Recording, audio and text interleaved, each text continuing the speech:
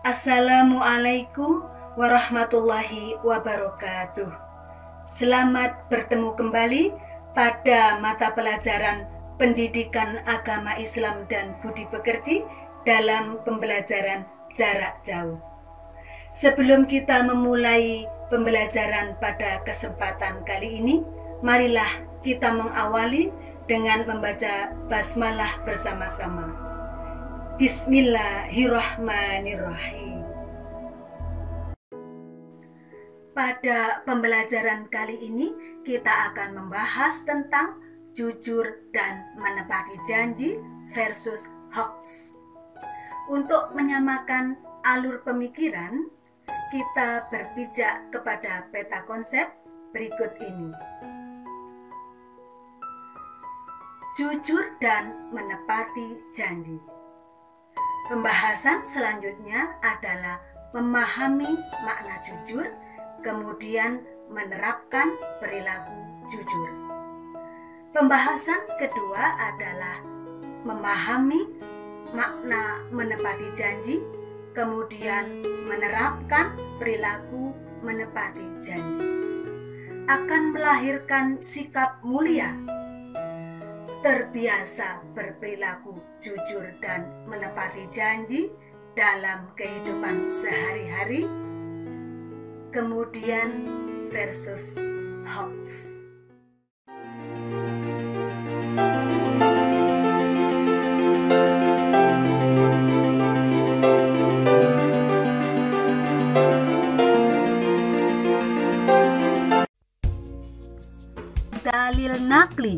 yang berkaitan dengan perilaku jujur termaktub di dalam Al-Quran surah Al-Ahzab ayat 70 yang berbunyi A'udzu billahi minasyaitonir rajim يا أيها الذين آمنوا اتقوا الله وقولوا قولا سديدا Artinya Wahai orang-orang yang beriman, bertakwalah kamu kepada Allah dan ucapkanlah perkataan yang benar.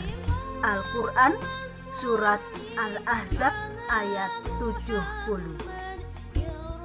Dalil nakli yang berkaitan dengan perilaku menepati janji termaktub di dalam Al-Quran Surah Ali Imran ayat 77 yang berbunyi A'udzu billahi minasyaitonir rajim إن الذين يشترون بعهد الله وأيمانهم ثمنا قليلا أولئك لا خلاق لهم في الآخرة ولا يكلمهم الله ولا ينظر إليهم يوم القيامة ولا يزكيهم ۖ ولا يزكيهم ولهم عذاب أليم.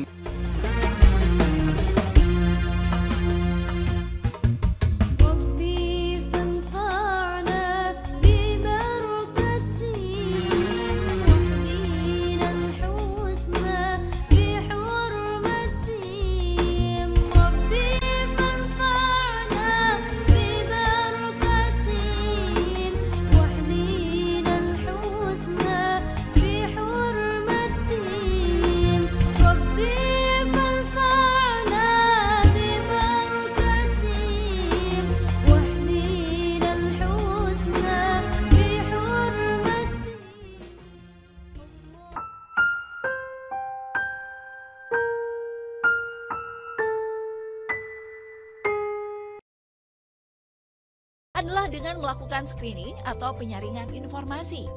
Informasi yang kita dapat bisa kita periksa keabsahan datanya melalui beberapa platform yang tersedia di dunia maya, salah satunya melalui laman kominfo.go.id. Yang pertama, beredar melalui akun Facebook salah seorang warganet yang tidak bertanggung jawab yang mengaitkan bencana gempa dengan adanya kemunculan tsunami selepasnya. Dalam narasi yang dituliskan di postingan akun Facebook tersebut dilampirkan sebuah gambar yang menunjukkan bahwa kini Pangandaran tengah dilanda tsunami pasca gempa saat Idul Fitri kemarin. Faktanya, Ketua Badan Pimpinan Cabang Perhimpunan Hotel dan Restoran Indonesia atau BPC PHRI Kabupaten Pangandaran Agus Mulyana memberi jawaban atas isu yang beredar di masyarakat tersebut sebagai hoax atau berita tidak benar. Agus memberikan informasi bahwa Pangandaran tidak dilanda tsunami setelah gempa. Ia juga menambahkan Pangandaran saat ini pun dalam keadaan aman.